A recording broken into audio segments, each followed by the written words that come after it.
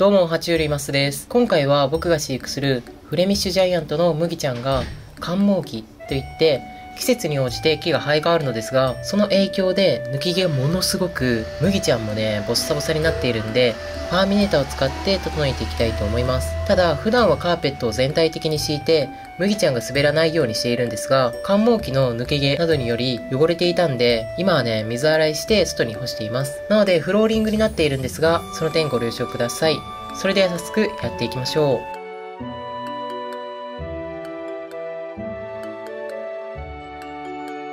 ということで早速やっていきたいのですが、ある程度は普段の生活で木が抜けているんですけど、後ろの方がね、まだ完全に抜け落ちていなくて、ボサボサになってるんで、ここを集中的に整えていきたいと思います。今回はこちらの抜け毛を整えるので有名なパーミネーターと呼ばれる道具を使っていきます。ちなみに絨毯のね、掃除をしていたら、麦ちゃんの抜き毛が体中についてね、大変な目に遭いました。やはり体が大きいので、それだけ抜ける量も半端ないです。普段のおしっこや糞の量も規格外で、小型のウサギを飼っている方が見ると驚かれるかなと思います。糞なんてもうタピオカよりも大きくて、たまにケージの網を通らなくて、上に溜まっちゃうことがあるくらいなんですよ。本当にやばすぎる。で、さっきまで外で散歩させていたんで、水を与えていきます。いつもは給水器で与えてるんですけど、散歩後は水をガブ飲みしたいと麦ちゃん言っているので、タッパーに水をいっぱい入れて与えています。初めて麦茶を見た方はその大きさに驚かれると思うのですがフレミッシュジャイアントは飼いウサギの中では世界最大の品種になります。性格は温厚でとてもおとなしいので紳士のような従順な性格にちなみ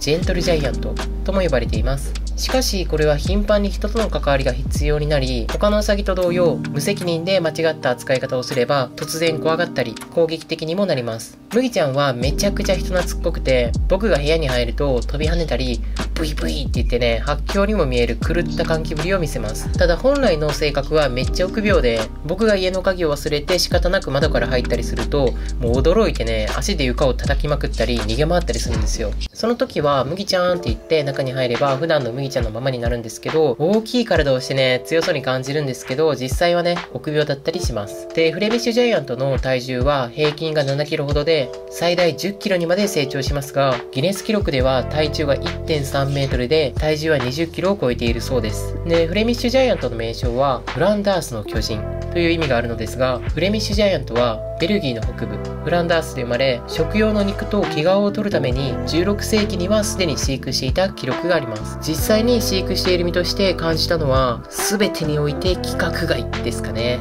食べる量、排泄する量、ブヒブヒっていう鳴き声だったり、どれをとっても普通のウサギからは想像できないものばかりです。ただめっちゃくちゃ可愛くて、犬のようなウサギって感じなので、僕は麦ちゃんにベタ惚れです。で、爬虫類も飼育しているんですけど、その子たちに使う野菜で余ったものは、麦ちゃんが食べてくれたりするので、7つの大罪に出てくるフォークのような子でもあります。たまにお腹を上にして、休日のおっさんみたいな寝方をする時もあって、こいつ本当は中におっさんいんじゃね？と思えるような仕草もしますね。まあ本当に可愛いんで気になる方もいると思うのですが、やはりかなりの大きさがあるので、飼育スペースもそれなりに広くする必要があります。犬のように部屋中を散歩させたりすると、手当たり次第コードを噛みちぎったり、壁をボロボロにされたりするので、注意が必要です。日々の飼育はね、やはり大変なんですけど、それらを含めてもどうしてもフレミッシュジャイアントが飼いたいという方にはお勧めしたいかなと思います。ということで、今回の動画はこれにて終わっていきたいと思います。最後までご視聴ありがとうございました。それではまた次の動画でお会いしましょう。バイバイ。